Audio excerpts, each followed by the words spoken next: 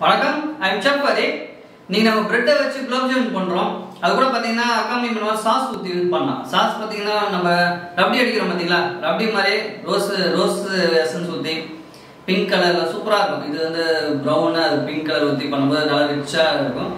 எப்படி பண்றது நான் தேவையான பொருட்கள் அரை litre high fat milk rose essence கால் டீஸ்பூன் ஏலக்காய் பவுடர் சும்மா கார்னிஷ்க்கு கேஷ்யூட் எடுத்துருக்கேன்.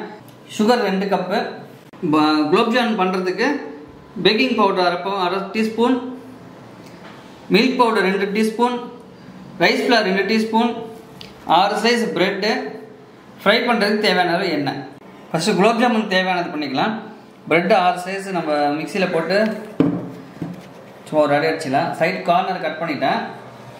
நம்ம லேசாக ஒரு சுற்று சுற்றினாலே ப்ரெட் கம்ஸ் மாதிரி வந்துடும் இப்போ இது பவுடரை அரைச்சி எடுத்துக்கலாம். ப்ரெட்டை அரைச்சாச்சு. பார்த்தீங்கன்னா அப்படி இருக்கும்? க்ரம்ஸ் மாதிரி.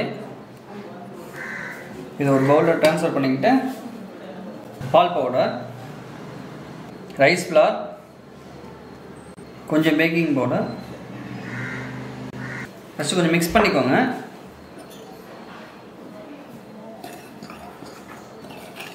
இப்போ நல்லா மிக்ஸ் பண்ணியாச்சு. இப்போ இதில் வந்து ஒரு ரெண்டு ஸ்பூன் பால் எடுத்து ஊற்றிக்கலாம் நம்ம எடுத்து வச்சுக்க பார்த்தீங்கன்னா அதே பால் எடுத்து ஊற்றிக்கலாம் இது நல்லா இந்த டோ மாதிரி பிசைவோம்.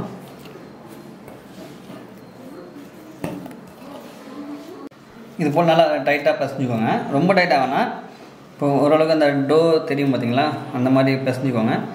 அப்படியே ஒரு டென் மினிட்ஸ் இருக்கட்டும். நம்ம அதுக்குள்ள பால் சூடு பண்ணும் பார்த்தீங்களா? அந்த சாஸ்க்கு அந்த பால் அவங்க அந்த சிம்மிங்கில் வச்சு கிண்டும் போது இதை பால் குடிச்சிக்கலாம். அது பத்து நிமிஷம் ஊறட்டும் நல்லா. ரெஸ்ட்டில் விடுங்க. அதில் பால் ஏற்றிடலாம் கொதிக்கிற வரைக்கும் நல்லா ஃபுல் ஃபயலாக இருக்கட்டும். பொங்க ஆரம்பித்தோடனே ஸ்லோ பண்ணிக்கலாம் பட் அந்த இது ஏடை மட்டும் கட்ட விடாதீங்க கிண்டிகிட்டே இருந்தீங்கன்னு சொன்ன அந்த ஏழை கரைஞ்சிரும்.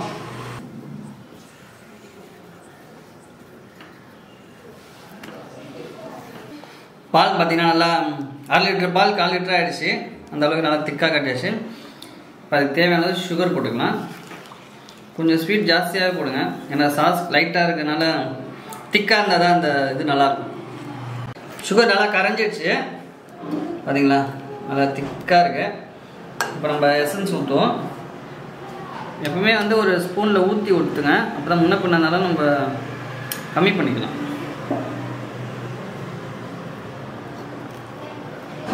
கொஞ்சம் கம்மி டல்லாக இருக்க கலரு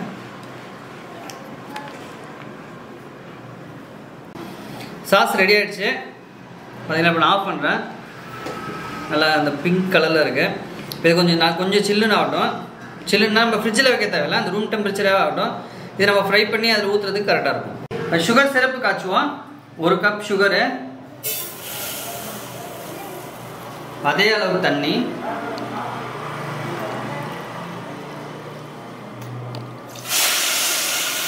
இதே போதும். நல்லா அந்த திக்காக வந்துடும்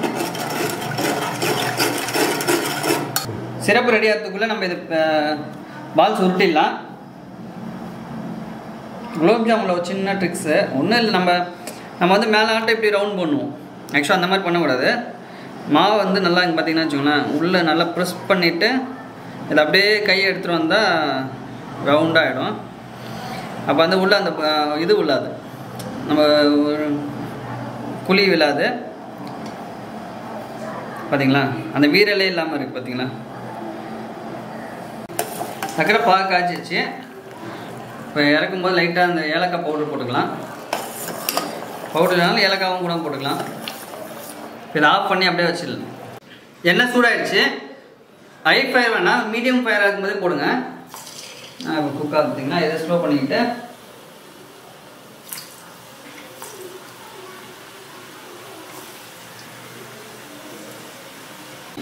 உங்களுக்கு குலோப் ஜாமுன் மாதிரி வேணுங்க இந்த கலரில் எடுத்துருங்க. இந்த கோல்டன் ப்ரௌனு நான் என்ன பண்ண போகிறேன்னா இதை வந்து காலா ஜாமுன் செய்ய போகிறேன் அதனால் திரும்ப டீப் ஃப்ரை இன்னும் பண்ணி இன்னும் ஃப்ரை பண்ணிவிட்டு இன்னும் பிளாக் ஆக்க போகிறேன் அது பார்த்தீங்கன்னா சூப்பராக இருக்கும். பிட்டர் டேஸ்ட்டில் இருக்கும். நம்ம இந்த கேட்ரிஸ் சாக்லேட்டு ப்ரௌனிலாம் சாப்பிட்டா எப்படி இருக்கும் பார்த்தீங்களா அந்த மாதிரி இருக்கும்.